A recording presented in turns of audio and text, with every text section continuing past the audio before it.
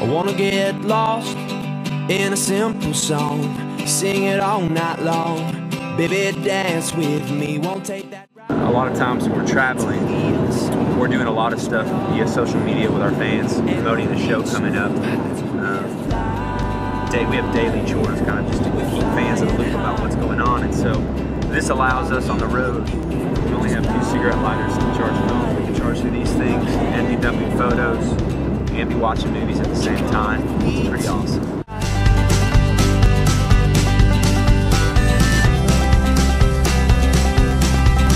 I wanna go down. just sitting here chilling on the way to Austin. You know, what else are you gonna do in the van other than watch a good flick? And uh, being able to just kind of scroll through a lot of different movies on the MobileLite is just super nice.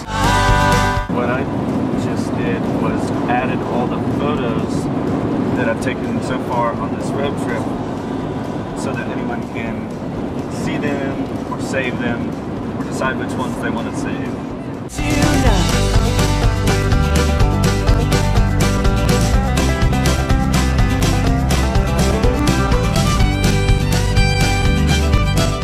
the data roaming at South by Southwest is crazy. It's draining my battery uh, every day.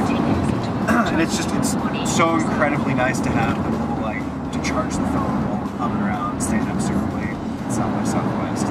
Firecracker up to my heart. Hey, hey, hey, we're flying, we're flying high.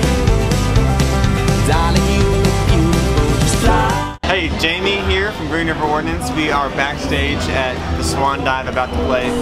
Lots of guitars everywhere. Um, and I'll show you fill you in on a little secret. In my back pocket we have cell phone and MobileLite and cable because the thing that magically happens at South by Southwest is your phone is like instantly drained of juice because you're like using directions looking around everywhere. Keep this bad boy in my back pocket, plug it in, charge it up, and that is my favorite feature about the MobileLite. Thank you Kingston Technology, 5 in 1 road trip, it's been awesome.